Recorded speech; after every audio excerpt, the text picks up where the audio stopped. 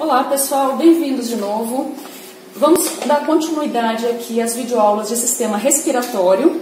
Na aula passada estudamos a cavidade nasal, é, já vimos a, definição de epitélio respiratório, já vimos a classificação funcional de porção condutora e porção respiratória e hoje a gente vai ver uma lâmina de pulmão. O pulmão ele vai ser composto pela árvore brônquica, que aí tem por parte da porção condutora, que são os brônquios intrapulmonares, suas ramificações, bronquíolos, também com suas ramificações, até a porção de bronquíolo terminal, que é onde termina então a parte da porção condutora. A porção respiratória vai iniciar-se com o bronquíolo respiratório, que vai ser a estrutura do bronquíolo associada a um alvéolo, que é onde já começa a haver trocas gasosas. Então, é basicamente composto aí por bronquíolo respiratório, ducto alveolar e saco alveolar. Aqui a gente tem uma vista panorâmica da lâmina de pulmão, só para a gente ter uma noção da distribuição das estruturas. É, aqui é uma lâmina de pulmão de coelho, corado com hematoxilina e osina, na qual a gente consegue observar a região do hilo pulmonar, que é por onde entra os brônquios, brônquios maiores, Aqui já dá para ver uma porção de um brônquio, depois a gente vai detalhar um pouco mais, melhor, mas um brônquio é bem grande, com a mucosa preguiada, cartilagem alina, associado a tecido conjuntivo, às vezes tecido adiposo também. E acompanhando esse brônquio, geralmente vamos ter porções de, de artéria, que vão se ramificando. Aqui é uma artéria, aqui uma veia. Depois a gente vai ver tudo isso em aumento maior e uma característica que é bem fácil para identificar o pulmão são essas várias cavidades aqui, que ficam brancas, aqui cavidades cheias de ar, que são os alvéolos e sacos alveolares. A gente vai encontrar porções de brônquios, bronquíolos e sacos alveolares. E revestindo o pulmão externamente, vai ter um tecido conjuntivo fino com epitélio pavimentoso, que seria a pleura visceral. Então agora eu vou colocar essa lâmina no microscópio, no aumento de 40 vezes, e a gente vai detalhando um pouco mais cada uma dessas estruturas. Bem, aqui no aumento de 40 vezes, a gente está vendo a região do hilo pulmonar. Aqui vou só descer para mostrar um pouco a localização, ó, a posição do hilo pulmonar, aqui já o parênquima pulmonar. E, aparece, e já aparece aqui, também foi mostrado na, visão, na vista panorâmica, um brônquio de grande calibre, aqui provavelmente um brônquio secundário ou brônquio lobar. É, ele não está inteiro aqui, tá? Pode, arrebentou um pouco e tem uma secreção, pode ser secreção ou pode ser artefato da lâmina.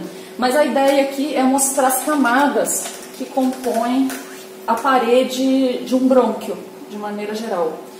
Bem, de dentro para fora, o brônquio apresenta cinco camadas, que são camada mucosa, camada muscular, camada submucosa, camada cartilaginosa e camada adventícia. Começando aqui da camada mucosa, como toda mucosa, ela vai ser composta por um epitélio e por um conjuntivo frouxo que a gente chama de lâmina própria.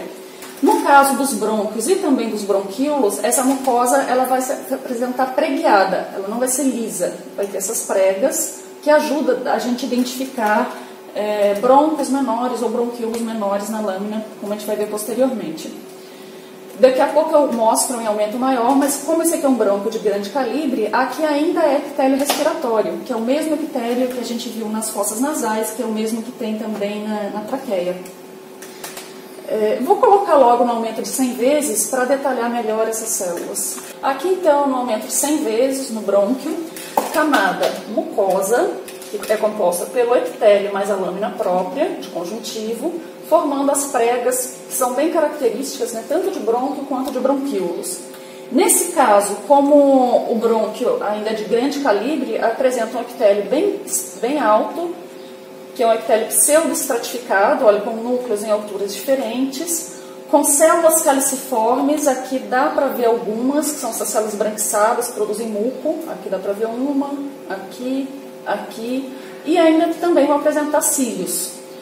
A lâmina própria, que é essa parte aqui, é esse rosa mais claro, ela vai ser composta por tecido conjuntivo frouxo, É, a gente também pode encontrar muitos linfócitos nessa região e ao longo de toda a árvore brônquica, que a gente pode chamar de tecido linfóide associado aos brônquios ou à mucosa.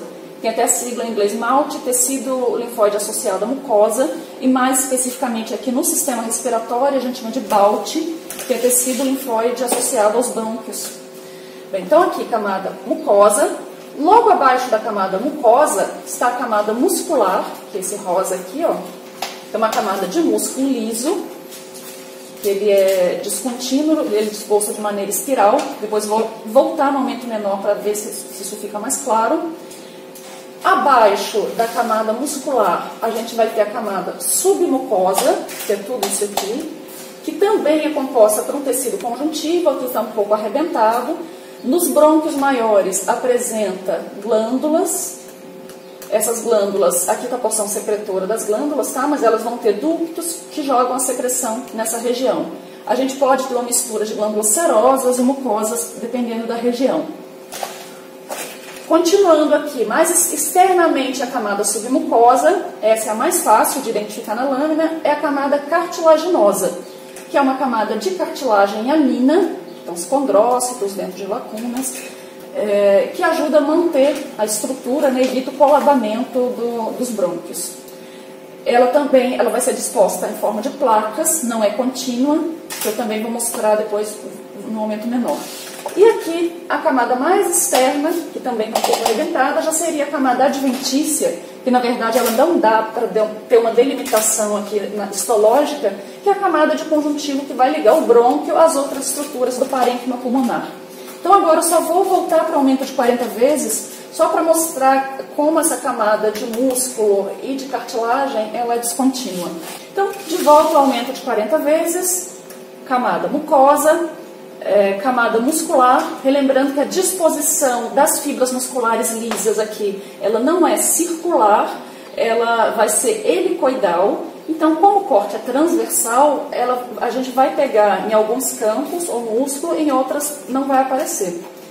Com relação à cartilagem alina, diferente da traqueia, né, que apresenta aqueles anéis em forma de C, aqui nos brônquios é, intrapulmonares, a, cartilagem ela vai se distribuir na forma de placas descontínuas. Então, por exemplo, aqui eu tenho uma placa de cartilagem alina, aqui eu tenho outra, aqui eu tenho outra. Ela não é contínua. Então, por isso que a gente vai ver de maneira irregular aqui. Então, essa é a estrutura básica de um brônquio. É, características aqui que ajudam, vou mostrar um bronquíolo, mas só para chamar a atenção já de algumas características principais que diferenciam brônquio e bronquíolo. Bem, além, claro, do calibre, que vai ser menor dos bronquíolos, o brônquio, os brônquios maiores pelo menos, eles apresentam glândulas, bronquíolo não tem glândulas, brônquios menores também não, e todos os brônquios apresentam cartilagem alina. Bronquíolos não têm cartilagem alina, então isso já é uma diferença que facilita na identificação da estrutura. Agora, no aumento de 100 vezes, estamos vendo um bronquíolo aqui, com as características, é, também apresenta camada mucosa, ele, é, ele, é bem menor, né? Primeiro, com relação ao lumen, é menor, aqui está no aumento de 100, então parece um pouco aumentado, mas é, apresenta a camada mucosa preguiada, aqui. O epitélio já fica mais baixo, às vezes ele fica cilíndrico, simples, depois, à medida que ele vai se ramificando, fica cúbico. Mas enfim, aqui está a mucosa, não tem mais glândulas em volta. E o principal que fica mais fácil de identificar é a ausência de cartilagem. Então não tem cartilagem. E outra característica, isso aqui, ó, essa parte rosa, essa faixa rosa aqui em volta, é a camada muscular, de músculo liso. É, diferente do brônquio, que apresenta camadas, é, a disposição em espiral, aqui normalmente o músculo liso ele é circular, ele tem capacidade né, de fazer broncoconstrição ou broncodilatação, de acordo com, a necessidade, e é mais desenvolvido, às vezes, do que no brônquio. E só de curiosidade aqui, para diferenciar, porque muita gente às vezes confunde na, nessa lâmina os vasos sanguíneos com bronquíolos. Aqui, um vaso sanguíneo, uma arteríola. As características, né? nesse caso aqui o calibre é menor, depois eu mostro algumas de calibre maior, mas já dá para identificar que o endotélio, no caso do vaso sanguíneo, lá da túnica íntima, ele é pavimentoso e achatado. Então, isso aqui, ó. E depois já uma camada muscular, que é a túnica média e túnica adventícia. Já todo o brônquio, mesmo os de menor calibre, eles vão apresentar o epitélio, no mínimo o epitélio cúbico e preguiado, coisa que a gente não vai observar nos vasos sanguíneos. Então, isso ajuda a diferenciar. Aqui uma artéria de pequeno calibre, aqui um bronquíolo, e em volta vários sacos alveolares. Eu vou mostrar mais algumas imagens de bronco e bronquíolo para diferenciar melhor, certo? Agora, aqui no outro campo microscópico, a mesma lâmina, consegui mostrar que no aumento de 100 vezes, um bronquíolo e um brônquio, um ao lado do outro, embora o corte não seja exatamente transversal, mas dá para ver, comparar, né, ver as diferenças. Então, brônquio, as características, a mucosa preguiada, epitélio, lâmina própria, uma camada fina aqui de um músculo liso, lembrando que ela parece descontínua por ser espiralada, e aqui alguns fragmentos das placas de cartilagem anina. Olha, tem um aqui, tem outro aqui no canto, aqui embaixo, e também aparece um fragmento aqui em cima. Então, a gente viu cartilagem, já sabe que é brônquio. E nesse caso aqui, ainda aparece um pouquinho aqui, algumas glândulas bem pequenininhas. É, e aqui do lado, a gente tem um bronquíolo.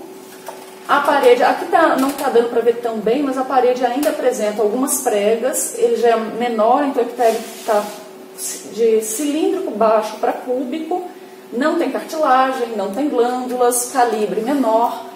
E apresenta aqui uma camada de músculo liso. Só chamando atenção novamente que aqui apareceu, e é interessante diferenciar vaso sanguíneo de bronco e bronquíolo. Olha aqui embaixo, temos uma arteríola, o epitélio, o endotélio né, pavimentoso, achatado, e aqui camada muscular. Aparece uma outra arteríola aqui em cima, essa ainda com resto de sangue, mas também o epitélio pavimentoso simples, não apresenta as pregas, e do lado desse bronquíolo tem uma arteríola ainda menor, mas que dá para ver o endotélio e, e a camada muscular, só para não confundir aqui com bronquíolos. E tudo isso aqui em volta, a gente tem vários sacos alveolares, é, que são formações, que tem a parede né, formada por vários alvéolos, e os septos, separando um do outro, que a gente chama de septo interalveolar. Se eu chegar aqui para o lado, só para mostrar, é, dá para ver melhor a cartilagem ó, desse bronco, aqui tem uma porção maior de cartilagem. A camada adventícia não, não dá para ver o limite, mas ela está em continuidade aqui com o parênquima.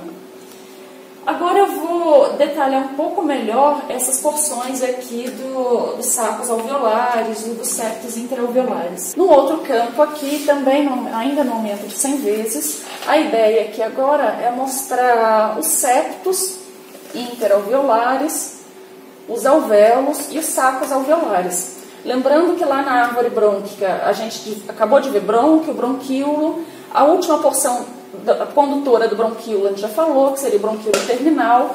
Quando começa a aparecer alvéolos no bronquíolo, a gente tem o bronquíolo respiratório, que depois vai se abrir, é, vai se alargando cada vez mais em ductos alveolares e depois em sacos alveolares, que são estruturas formadas por vários alvéolos.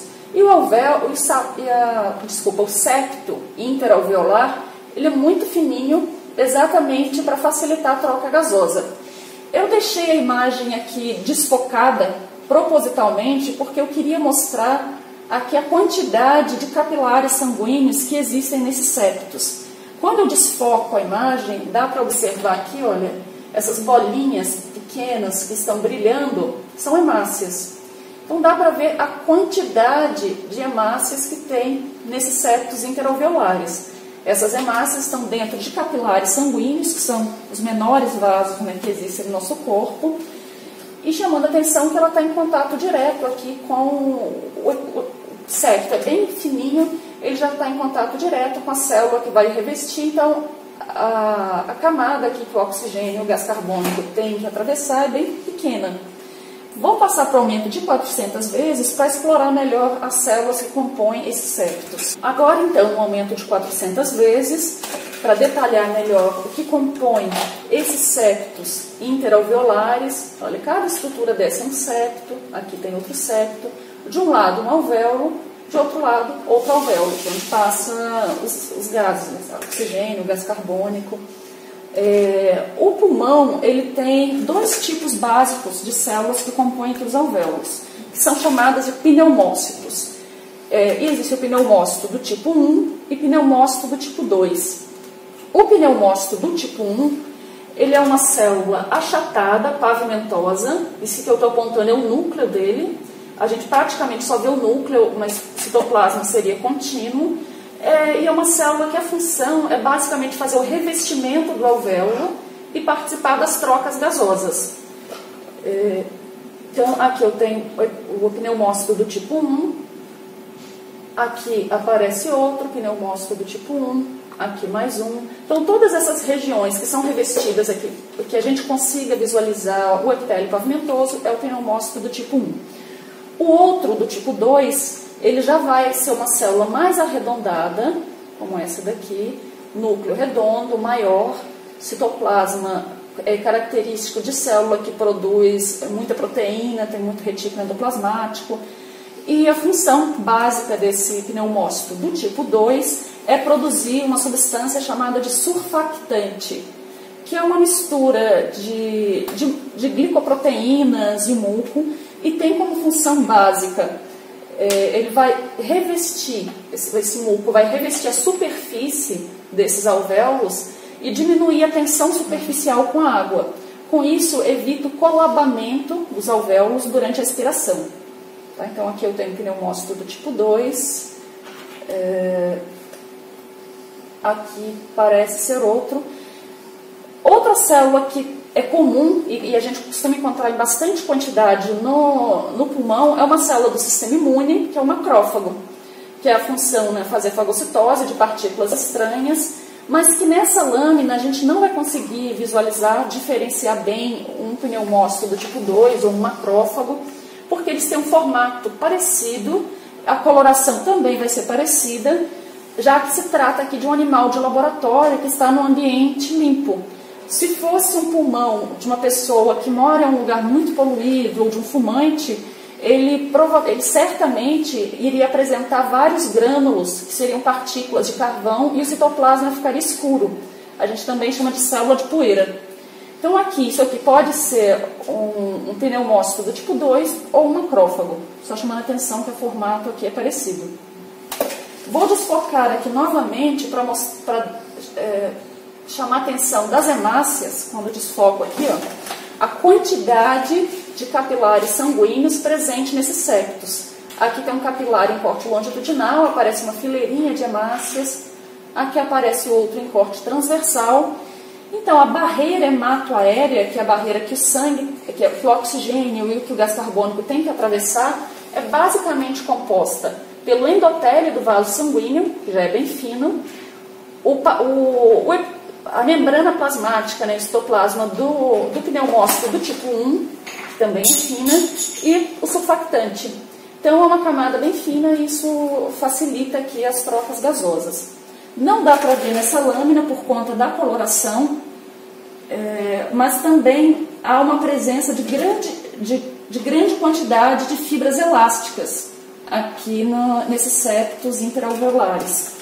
Esse, essa fibra elástica vai permitir, então, a dilatação e a retração elástica do pulmão, tendo uma função muito importante.